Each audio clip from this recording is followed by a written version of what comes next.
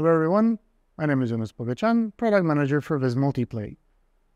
One of the benefits of using Viz Multiplay in the VizRT ecosystem is that not only you can play out your images and clips and live inputs in your graphics like you normally would, but you can also integrate it with your newsroom system, which means you can load up and play uh, rundowns using the MOS protocol. So let's jump into multiplay. And before I start, I just want to show you that We've made some improvements here. So now you can configure the MOS gateway and the pilot database connection for the sequencer straight into the Viz uh, multiplay interface. And what I have here is I have um, iNews uh, with the rundown, and I've uh, dragged in already a couple of uh, clips using the Viz Pilot Edge uh, plugin. So let's load up the playlist. That's my playlist that I just enabled into iNews.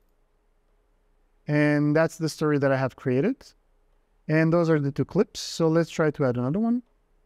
And you can do the same thing with images and clips and uh, graphics. So uh, let's have a look at this one. That's fine. Let's drag it in. And let's assign this one to channel 2, which happens to coincide with my screen right uh, channel. Let's save the story. And the moment that I save the story, you notice that the clip automatically populates into my MOS playlists. And I can queue up all my graphics and all my clips. And once I'm ready, before I do that, I'm just going to switch to my output and I press take. And all the clips that are coming through the MOS playlist are being now played on the Viz Multiplay engine.